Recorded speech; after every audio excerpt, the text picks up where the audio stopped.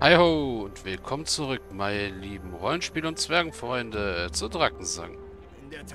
Ja, eigentlich waren wir auf dem Weg zum Niceback-Anwesen, um endlich Rache für Ardo zu nehmen. Und wie man sieht, wir haben schon viele Quests mittlerweile abgeschlossen, die wir noch lange offen hatten. Äh, ja, als nächstes schießen wir Rache für Ardo ab. Allerdings kommt uns hier was in die Quere, nämlich wir hören von Trollen in der Taverne. Und wenn wirklich Trolle drin sind? Gehen wir mal rein und gucken, ob da wirklich Trolle drin sind. Mit den beiden Stadtwachen können wir ja nicht reden. Dafür reden wir jetzt mit Trollen. Haios sei Dank. Endlich Hilfe. Bueno, ihr, ihr müsst mir helfen. Diese nimmersatten Ungetüme verschrecken mir noch die ganze Kundschaft. Was bei ja den Zwölfen geht denn hier vor? Wie sind die Trolle denn hier reingekommen?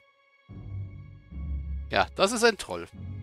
Humba Dumba und Humba Hunger und Durst. Also es sind drei Trolle, die Humba, Dumba und Bumba heißen. Ja, trinken Bier, lecker. Hm, aus Fass. Hm, ja, dann gebt ihnen doch noch was, wenn sie dann abziehen. Die haben mir doch schon ein ganzes Fass helles Pferdocker weggesoffen, als wäre es Wasser. Haben diese Banausen es runtergekippt. Hm, helles, lecker, mehr helles. Was? Noch mehr? Nein, ich rüche nichts mehr raus. Das erste Fass ist noch nicht mal bezahlt. Bezahlen was? Humba versteht nicht. Humba Durst und Humba Hunger. Bauch so leer machen Dumba ganz traurig. Ach, es ist zum Verzweifeln. Wie werde ich diese Burschen bloß los, ohne dass sie mir die letzten Haare vom Kopf fressen? Aber Tradan, bitte, Brenno, ihr, ihr müsst doch irgendwas unternehmen können. Wenn ihr mir helft, diese Bande loszuwerden, zeige ich auch zwei Dukaten für eure Mühen. Hm. Ja. Da stehen drei Trolle. Also, sie sind etwas größer und etwas behaarter als Oger. Und Scheinbar auch etwas zivilisierter. Sonst würden sie hier alles kurz und klein schlagen. Die beiden haben uns allerdings nichts zu sagen, nur er hier. Was? Was du wollen von Humba? Entschuldigung, werte Herren, der Mann, dem dieses Haus gehört, möchte, dass ihr geht. Hm, aber wir können, aber können nicht gehen. Humba noch Durst und Hunger. Äh, und Bumba auch, wollen Bier, ja, Bier, hm. Dumba will auch was essen. Ja, ja, leckeres Essen. Dumba will. Genug schmarotzt. Ohne Heller gibt es gar nichts mehr. Ich bin doch nicht die Wohlfahrt. Äh. Also überreden haben wir Menschenkenntnis oder Falschen? Äh, Tadan, seht ihr nicht, dass diese armen Burschen völlig ausgehungert sind?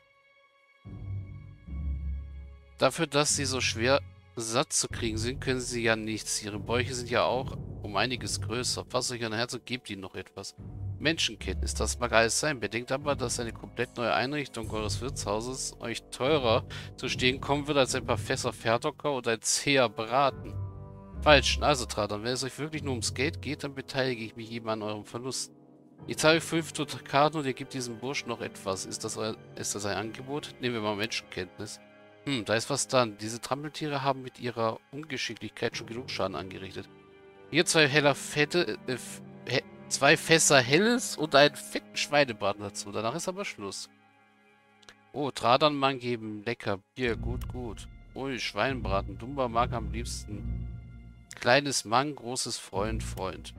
Humba, Dumba, äh, Humba, Bumba und Dumba Danke sagen für leckere Sachen.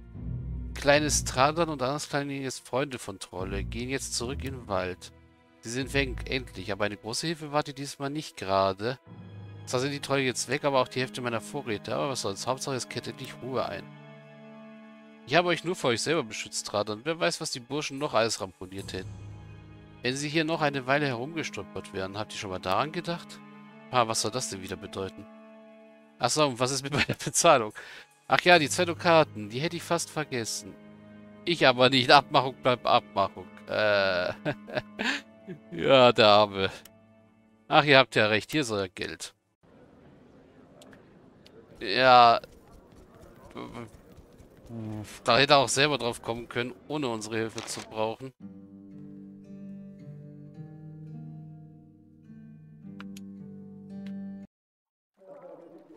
Ja, und die Wachen sind auch weg.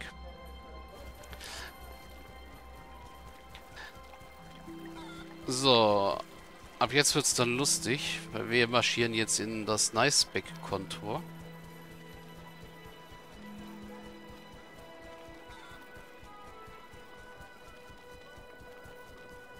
Hm, hm.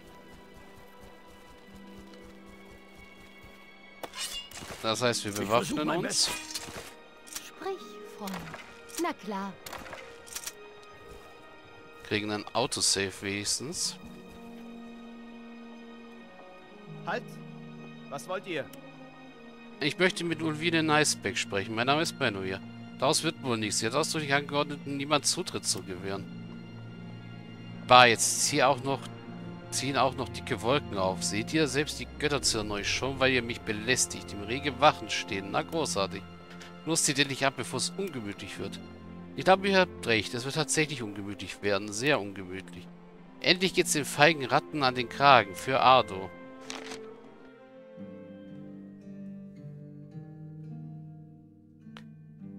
So, ich glaube...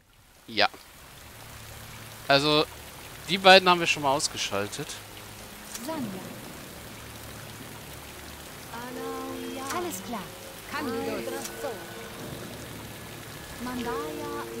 Wir haben jetzt aber wenigstens noch die Möglichkeit, ähm, uns zu schützen.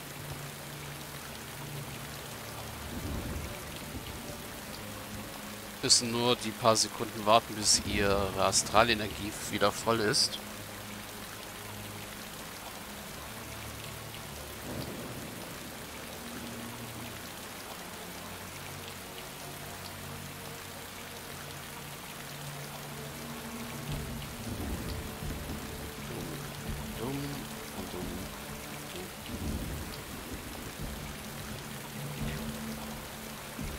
So, dann können wir jetzt einen Quicksave machen.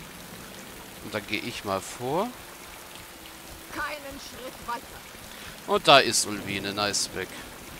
Ah, Ulvine Niceback. Genau die Person, die ich gesucht habe. Anscheinend habe ich euch unterschätzt, Brenno hier. Ein Fehler, der mir gewiss kein zweites Mal unterlaufen wird. Freut euch nur über einen kurzen Anflug von lange Narren genügt, solange ihr noch lebt. Zwar verstehe ich eure Überheblichkeit nicht, andererseits wird es nun ohnehin zusammen mit euren niedrigen, niederen Intrigen ein Ende finden. Haha, ihr solltet besser über eure eigene Überheblichkeit nachdenken, Brenno, ihr Sohn des Durin. Jandrik, ihr habt überlebt? Ihr habt also wirklich geglaubt, ihr könntet mich so leicht bezwingen. Da habt ihr euch gründlich getäuscht. Bereitet euch auf den widerwärtigsten und qualvollsten Tod vor, den ihr euch vorstellen könnt. Dieses Mal weiß ich, wer mein Gegner ist. Ich auch, Jandrik. Nur mit dem Unterschied, dass ihr euch dieses Mal nicht in den Fluss retten könnt. Wachen, Eindringlinge, tötet sie. Ja, Rache für Ardo. Äh, der letzte Widerstand dieser Schlange, Ulvin... Dieser Schlange Ulvine, doch das wird ihr alles nichts mehr nützen. So, wo steht Jandrik nochmal? Äh, hier sind nämlich Wachen aufgetaucht. Aufgepasst! Für Na Ardo! klar. Rezeption. Ja.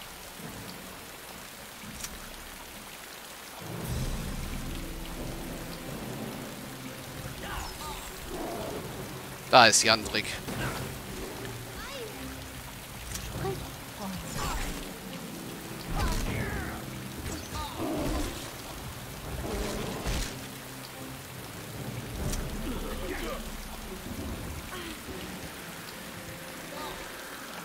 Ich versuche mein Bestes.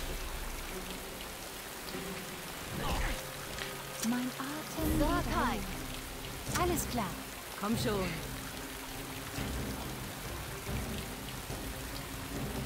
So, erstmal gucken, dass wir Jandrik loswerden.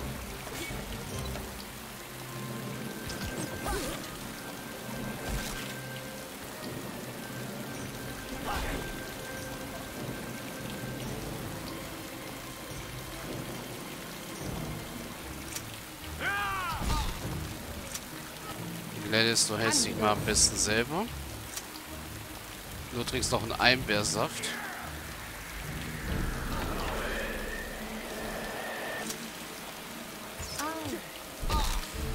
Und du schießt gleich nochmal mit einem... Das bin ich.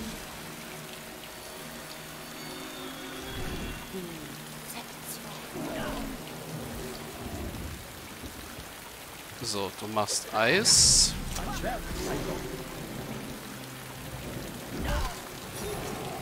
So, jetzt können wir uns mal volle Kanne um Jandrik kümmern.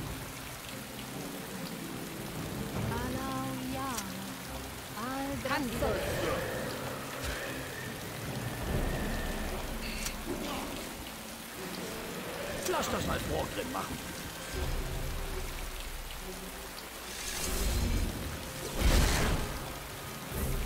Es werden nämlich immer wieder noch mehr Niceback-Wächter kommen. Äh,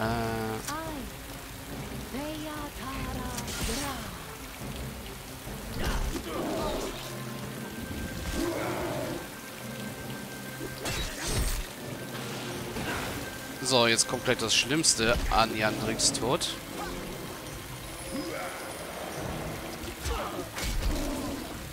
Er explodiert nämlich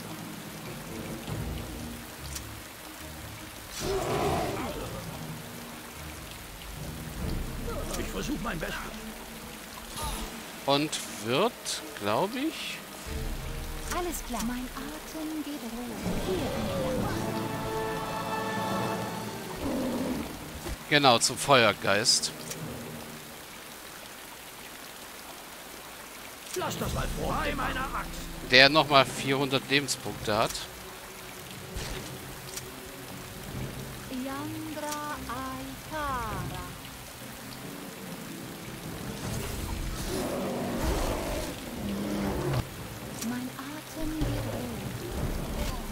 Okay, eine neue hilfreiche Taste muss her.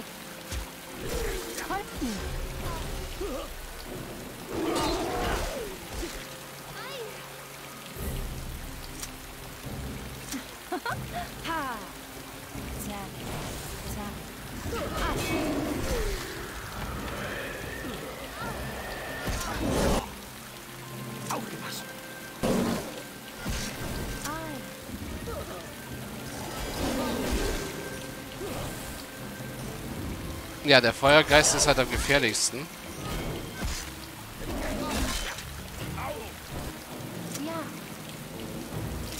Ah, du trink mal sicherheitshalber Einbeersaft. Ich trinke auch lieber noch mal ein.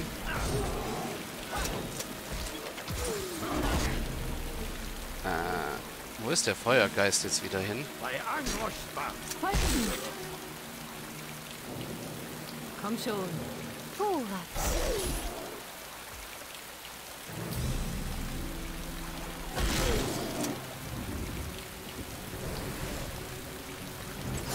Lass das mal machen. Ardo. Ja.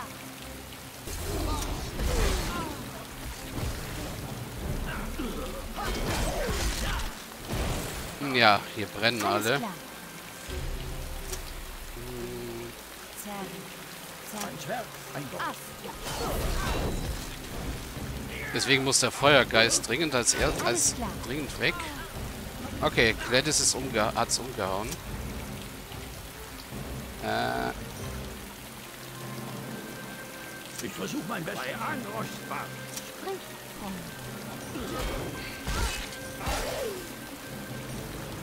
Sturm über Wasser.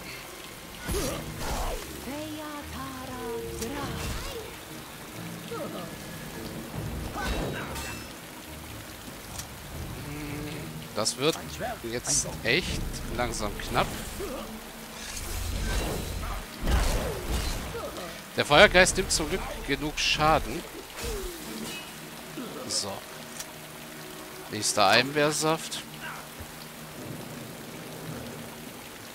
Lass das mal Vorgrim machen.